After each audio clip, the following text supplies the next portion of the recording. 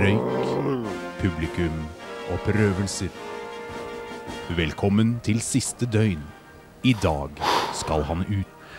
Jeg må innrømme akkurat nå så føler jeg meg rett og slett super. Jeg er helt ekstremt møkk lei Coca-Cola.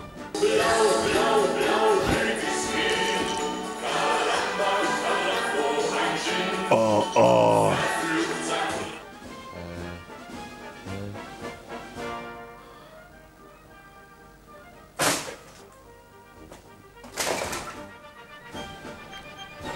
Klarer ikke mer.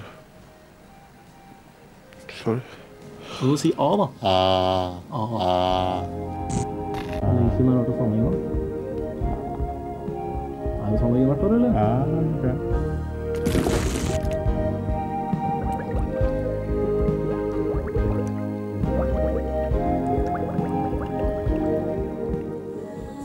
Jeg kjeder meg. Det er Ikke sånn at jeg har det kjedelig, men det jeg sier, kjeder meg.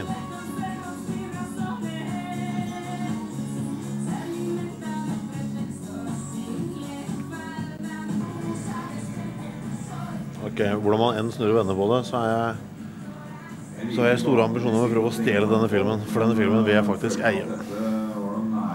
Og jeg kan si med hånden på hjertet det er ikke siste gangen at jeg ser denne filmen nå. Jeg føler meg litt som en sånn mentalpasient som har, uh, har blitt straffet. Når du smører bæsj på veggene, da får du ikke noe seng. Da får du sove på gulvet. Du får faktisk sove på gulvet når du er så dum og griser så mye som du har gjort. Da kan du sove i ditt eget gris. Så kan du lære deg litt av det. Klokken er 21.39. Kristoffer gruer seg til natten. Jeg gjør alt jeg kan nå for å utsette det å legge meg. Jeg sitter nå der sengen en gang var. Der er sengen nå. Har tatt en titt på et par punkter, et par eh, naturlige sovetankepunkter. Dette er ikke et naturlig habitat for sovende menneske. Dette er jo et naturlig sovepunkt. Ulempen der er selvfølgelig at man har trekk, litt trekk fra vinduet, og at man har mennesker inntil seg. Det er et nei. Man kan prøve å sove under bordet. Eh, Det er mye tekniske ting under der. Mye ledninger, litt sånn dårlig sikra ledninger og provisoriske løsninger. Men det er jo som du ser, det er det reneste, reneste delen av, av rommet. Men nok en gang ganske nærme vinduet. Man kan legge hodet inn bak vekten der mot do. Men uh, altså det der er et uh, Det er et katastrofeområde der borte. Det er, eh, det er mitt eget lille Tsjernobyl. Det er rett og slett ikke mulig å være der. Altså. Så har vi her, da. Hvor jeg er nå. Her er det jo en del ting. Den stolen her kan jeg alltid flytte. Men gulvet her er jo fullt av sånn. Det er så mye kliss her. Ja, det er jo for så vidt overalt. Broen over eh, elven Kola, som uh, gikk her i sted. Klart det er en mulighet til her òg. Altså, jeg er jo kjempeusikker. Ja, det er, det er noen timer igjen nå. Jeg behøver ikke ta stilling til dette umiddelbart. Den filmen her skal jeg prøve å stjele. Men hvor? Hvor i dette rommet legger man nå? Jeg kan prøve å legge den oppi brødristeren.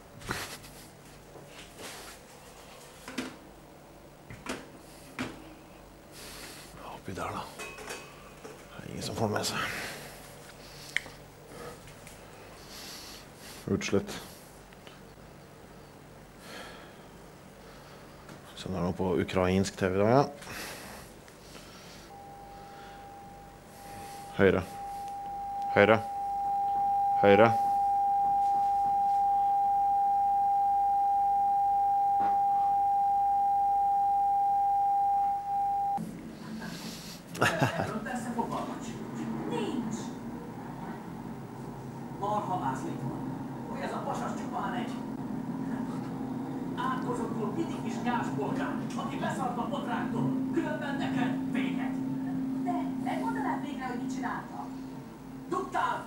Filmeztél, zsaroltál. Micsoda?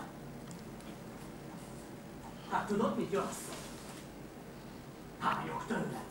Elég volt belőled és a hazugságaidból. Har jeg fått griseprogram på TV-en? Her så jeg for kun kort uh, tid siden oppbyggelig uh, Ja, hvilket språk var det? Estisk? Eller noe, noe slikt. eh, Oppbyggelig, estisk TV. Og nå har det altså blitt et eh,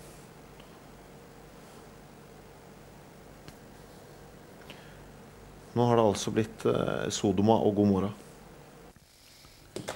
Klokken er 01.10. Kristoffer er i ferd med å legge seg. Det er vanskelig å finne et sted å slå seg til ro.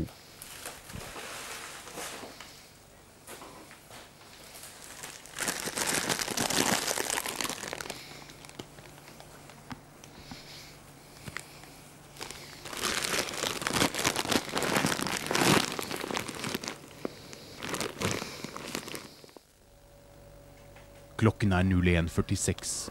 Kristoffer er kald. For kald. Dynen hans blir brakt inn igjen. Er det for kaldt?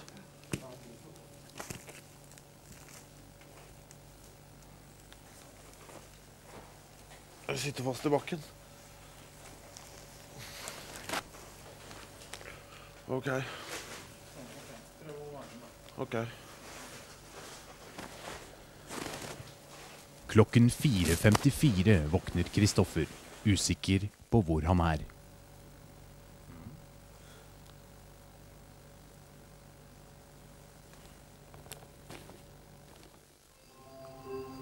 Og det ble morgen den siste dag.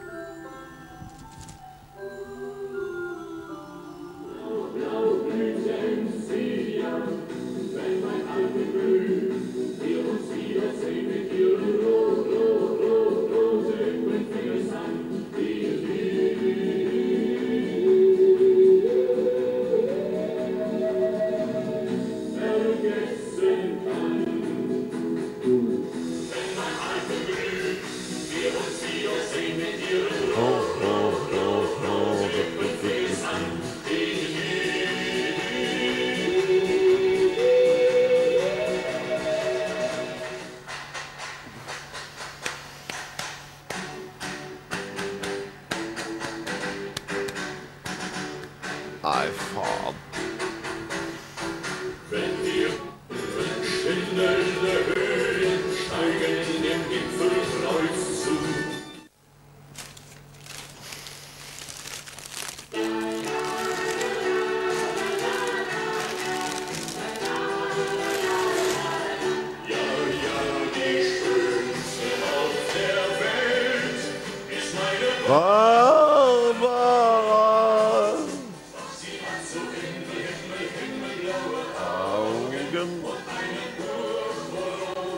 Mop.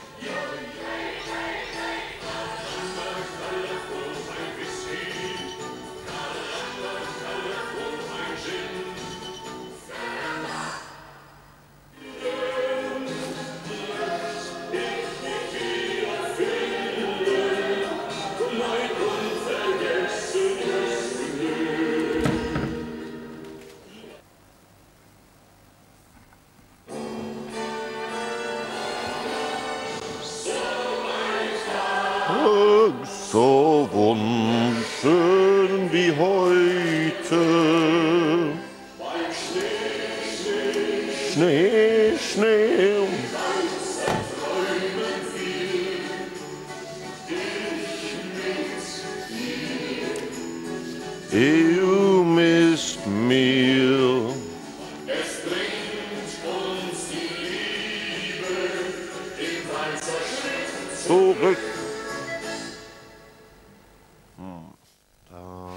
Klokken er 13.42. Tid for en lett lunsj. Vortesvinet og kokosbollene. Slik eh, selmoren kan kjenne igjen lukten av sitt selbarn, værer også skau en kokosbolle. Ja, dette er kokosbolle. Dette kjenner jeg igjen. Mm. Han leker med det. Han leker med det. Det er kattens lek med musen. Kokosbollen vet den jeg har ikke en sjanse. Men vet han bare leker med den, at døden er nært forestående? Han kaster kokosbollen i været. Vil nå. Mm. Mm. Øh. And another one bites, and another one bites, another one bites the dust. Se som har mynket i fatet.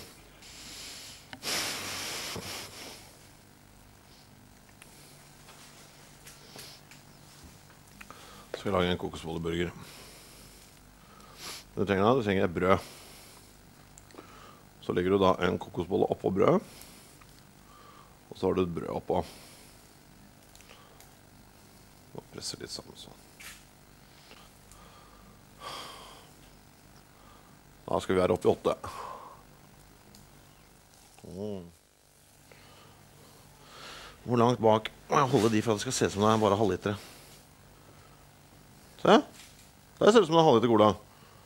Det kunne gått for å være en halvliter cola. Mm, det er viktig. Jeg burde egentlig drikke den der borte, så, liksom, så er det ikke, føles det ikke så tungt.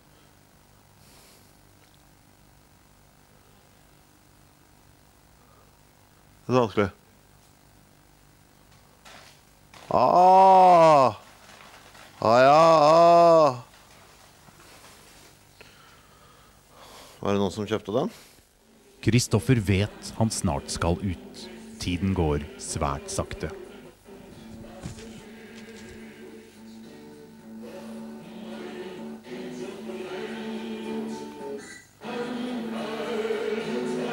Det er bare én ting som er verre enn uh, tysk populærmusikk, og det er tysk populærmusikk som hakker.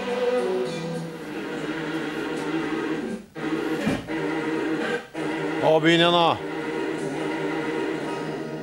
Å! Å! Jeg kan styre CD-spilleren telepatisk. Jeg kan snakke med den, og så gjør den det jeg sier. Det var helt fantastisk.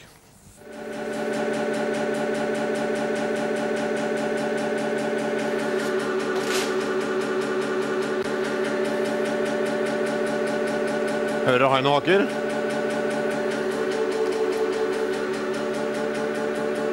Stopp!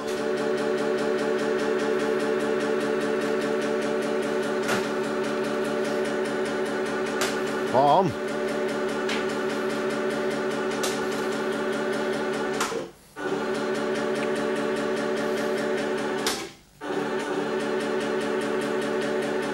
Nei, faen!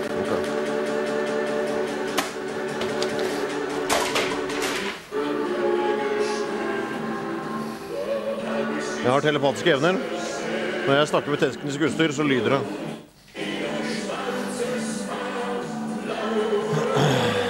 Wunderbar! Klokken er 17.12. Igjen har folket talt. 53,9% stemte for at Kristoffer skulle skamklippes av en blind mann. Eh, jeg er glad du nå er på topp, eh, på topp og ikke i, eh, i så stor grad i, eh, i øreregionen. Ja, det må vi gjøre noe med. Herlig. Hvor Du er, du er i ferd med å bli skallet, bare så det er sagt. Ja. Du jobber, du jobber hurtig. hurtig. Ja da, Ja. godt tjent. Så, ja, du er Du konsentrerer deg? Hæ? Er det kileskjegget du har på nå? Ja. Det er veldig, veldig nærme ørene, og det er, du klipper fort. Jeg er eh, Tidligere i uken så har jeg på en måte følt at jeg har hatt eh, tross alt kontrollen litt selv, ettersom det er jeg selv som har holdt på her. Men nå Nei, du har jo fått uh, måne i stor grad. Har jeg det? Ja, jeg vil jo, jeg vil jo si det. Der, ja, der gikk vi bak òg. Så du mister månen nå. Det er flott. Ja. Hvordan eh, ser frisøren på, på skaperverket så langt? Jeg tror det, det ser veldig bra ut foreløpig. Veldig, veldig fornøyd, faktisk. Er, det. er det noe Det- Alt er bra, på en måte. Alt er bra, ja? Ja. Der var vi, der var vi helt nede ved, der var vi jo helt nede ved sk- ved skalp, Nå kjente synes jeg. på en måte de har nådd, det, nådd et mål. Du, okay, du føler at der var Der, Der, på en måte, der satt den. der er din eh, kreasjon ferdig? Ja, jeg føler på en måte det. Om fem minutter er alt over. Kristoffer styrtdrikker sin livs siste flaske Coca-Cola.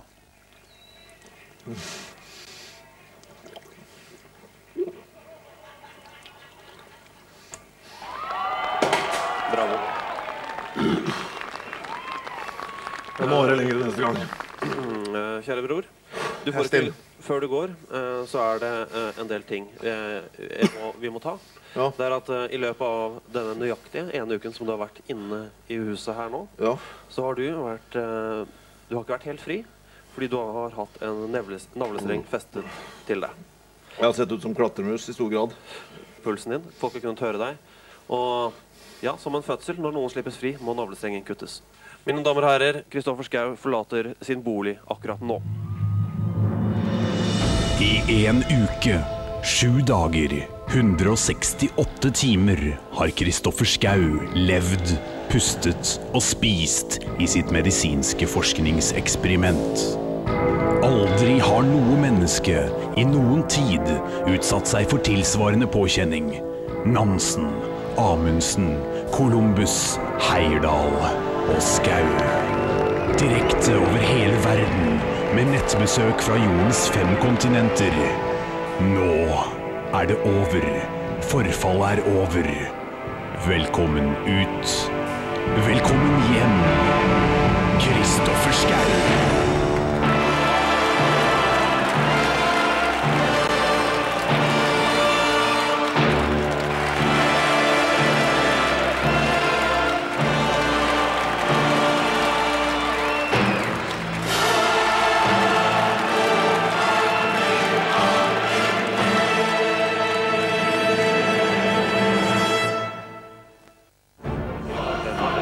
Vi, vi brøyter sånn Okehavet, altså. Hør hva hovedpersonen selv har å si. Har du noen kommentarer underveis? Kristoffer? Hva sikret du på? Nei, jeg var jo veldig, veldig bra. Hvordan er se andre mennesker? Er nær andre mennesker? Ja, det er veldig Jeg tror det blir veldig skummelt. Altså. Stinke. Ja, sånn, ja. Stinker jeg? Ja, nei, nei.